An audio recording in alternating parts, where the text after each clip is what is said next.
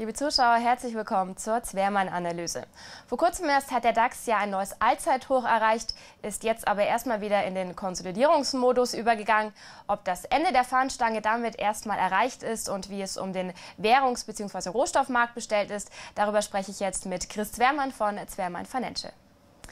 Ja, Herr Zwermann, starten wir erstmal mit Korrelationen. Einmal der DAX und die Korrelation zum Euro-Dollar-Kurs. Was fällt hier auf? Ja, wunderschönen guten Morgen. Äh, es ist ja so, dass wir im Moment in einer Situation sind, äh, wo eigentlich der Dollar schwächer gehen sollte, was eine Unterstützung für die Märkte allgemein wäre. Äh, es ist nun so, dann müsste der Euro extremst hochgehen, äh, was den DAX dann auch unterstützen würde. Und wenn wir das in der Korrelation mal uns anschauen, dann sehen wir, dass der DAX auf der einen Seite tatsächlich äh, wieder etwas zugelegt hat oder versucht etwas zuzulegen und auf der anderen Seite der Euro aber nicht nach oben wegkommt. Das heißt, dieses nach oben nicht wegkommen ist eigentlich das Risiko an dieser Korrelation. Das heißt, wenn der Euro nicht weiter steigt, dann dürfte erst der DAX hier auch erstmal im gewissen Rahmen konsolidieren. Ähm, kommen wir zu den Aktienmärkten. Der DAX ist ja wie gesagt im Konsolidierungsmodus. Ist das jetzt nur eine Verschnaufpause oder der Anfang einer Korrektur?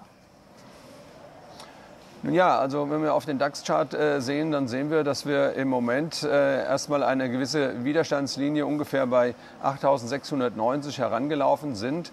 Äh, und von dieser Seite her äh, haben wir Konsolidierungsbedarf äh, im gewissen Rahmen etwa bis 8.430. Das ist so der Bereich, in dem man sich erstmal bewegen wird. Ich gehe davon aus, dass wir erstmal keine Allzeithochs machen, aber in dem Chart sehen wir immer noch diese 8.800 als Hintergrund. Das ist immer noch möglich, aber ich gehe davon aus, dass wir in dem Oktober, in dem wir uns im Moment befinden, eher in eine Konsolidierung übergehen im Gesamtverlauf des Marktes. Schauen wir uns den DAX auch in Dollar an. Was fällt hier auf? Ja, das ist ganz interessant. Äh, wenn man mal sieht, als amerikanischer Investor hat man in Deutschland investiert. Da ist natürlich der Euro entscheidend. Äh, und äh, hier sind wir tatsächlich exaktest an die Linie herangelaufen, an das Hoch von 2008. Im eigentlichen DAX-Index ist es ja schon längst überschritten. Aber hier sehen wir also ganz deutlich, dass wir an diese Linie herangelaufen sind von 2008. Und das heißt, als amerikanischer Anleger kann ich sagen, okay, ich habe mein Geld zurück und könnte hier auch an dieser Stelle aussteigen, sowohl beim Euro als auch beim DAX. Das heißt, wenn wir beim Euro nicht weiterkommen, wäre das ein echter Grund äh, für amerikanische Anleger oder ausländische Anleger in Deutschland, ähm, sich hier erstmal äh, aus dem Markt zurückzuziehen. Dann kommen wir jetzt zu den Währungen. Wie schlägt sich denn gerade das Währungspaar Euro-Dollar? Ja, das ist das, was ich gerade angesprochen hatte bei Euro-Dollar. Wir kommen im Moment einfach nicht nach oben hinweg. Äh, wir haben zwar gestern ein neues Hoch äh, für die letzte Zeit gemacht mit 1,3588, aber wie man sieht, ist das eine reine Konsolidierung.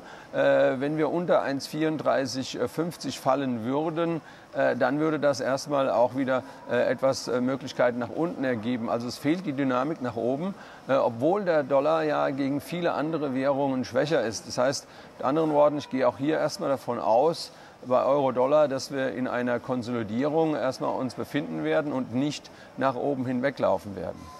Sie haben es gerade schon gesagt, der Dollar ist gerade gegen vielen, gegenüber vielen Währungen gerade eher schwächer. Das fällt besonders beim Schweizer Franken auf. Der ist gerade sehr stark gegenüber dem Dollar.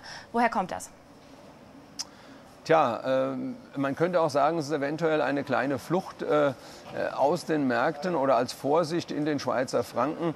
Äh, klar ist, wenn man sich das hier ansieht, wie intensiv der Dollar unter Druck ist gegenüber den Franken. Wir haben jetzt also gestern zum ersten Mal diese 0,90 erreicht und auf dem Chart sieht man, dass ein ganzes Gebilde von Schulterkopf-Schultern über dieser Marke steht. Das heißt, wenn die 0,90 nach unten durchbrochen würde, dann würden wir etwa bei 0,80 landen. 0,80 bedeutet auf der anderen Seite aber äh, einen wirklich festeren Franken und das würde auch den Schweizer Aktienmarkt mit Sicherheit belasten.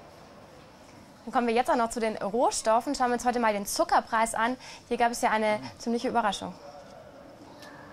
Ja, äh, muss auch mal süße Überraschungen geben am Markt. Äh, Im Gegensatz zu vielen anderen Rohstoffen ist der Zucker äh, sozusagen am Steigen. Äh, wir sind aus einer Keilformation nach oben ausgebrochen. Äh, es wäre jetzt an der Zeit, eigentlich äh, schon mal einen kurzen Rücktest wieder zu machen. Aber so wie die Umkehr verlaufen ist, hat das relativ Dynamik und könnte bis über die 20 hinaus ansteigen. Nicht so prickelnd ist hingegen gerade der Goldpreis. Äh, worauf müssen wir uns hier in der nächsten Zeit gefasst machen? Tja, der Goldpreis kam ja jetzt in den letzten Tagen äh, extremst nochmal unter Druck. Speziell gestern haben wir die 1300 nach unten verlassen. Ist kein gutes Zeichen, die 1300 nach unten zu verlassen. Wenn man im großen Rahmen die Retracements äh, jetzt aufzeigt, äh, dann muss man davon ausgehen, dass wenn es in den Bereichen, wo wir im Moment sind, keine größere Unterstützung gibt, äh, dass wir dann nochmal sogar bis 1165 fallen. Das wäre das Retracement, äh, was wir bei den letzten Abwärtsbewegungen nicht erreicht haben.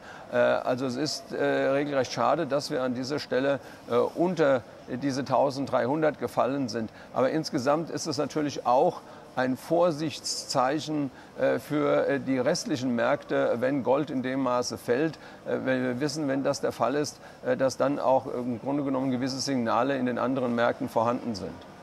Dann sage ich ganz herzlichen Dank, Chris Wehrmann, für Ihre Einschätzungen und bis zum nächsten Mal. Ja, vielen Dank. Schönen Tag noch. Danke ebenfalls, Tschüss. Ihnen, liebe Zuschauer, vielen Dank fürs Zuschauen. Anschauen können sich die Sendung natürlich nochmals im Internet unter drf.fm. Ansonsten sehen wir uns dann nächste Woche hier an dieser Stelle wieder, wenn Sie mögen. Bis dahin, auf Wiedersehen.